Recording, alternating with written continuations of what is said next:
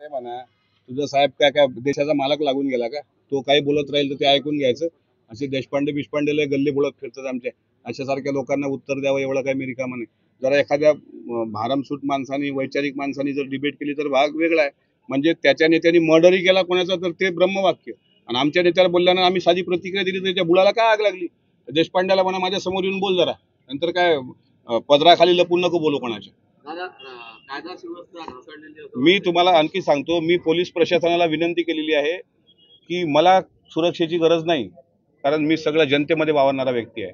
पण हे गुंड जर घरावर हल्ला करण्यापर्यंत यांची मजल जात असेल आणि घराचं नाव तुम्ही शिवतीर्थ ठेवत असाल याच्या मालकाच्या घराचं नाव शिवतीर्थ आहे आणि छत्रपती शिवाजी महाराजांनी शत्रूची जरी स्त्री आणि मुलं असली तर त्याचं संरक्षण करणारा कायदा काढला होता.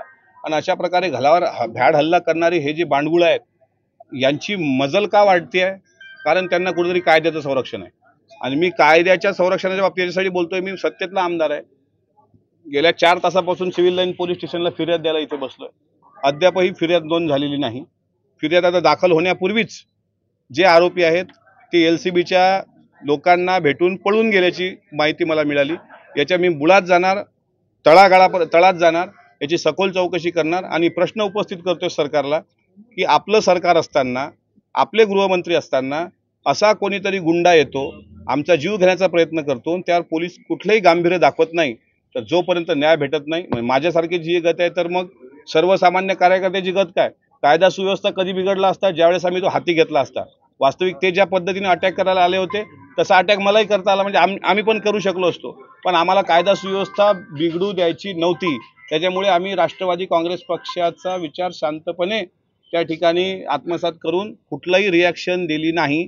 आम्ही शांतच राहिलो. पण अकोल्यातली कायदा सुव्यवस्था मला वाटते अकोल्याच्या इतिहासातली ही पहिली घटना आहे की एखाद्या जिल्ह्यात राहणाऱ्या आमदाराच्या बाबतीत बाहेरचा कोणीतरी येतो नेता आणि तो चिथावणी देतो आणि हल्ला करायला लावतो आणि अद्यापही चार तास झाले फिर्याद दाखल होत नाही. मला असं वाटते याच्यावर कुठेतरी चिंतन झालं पाहिजे.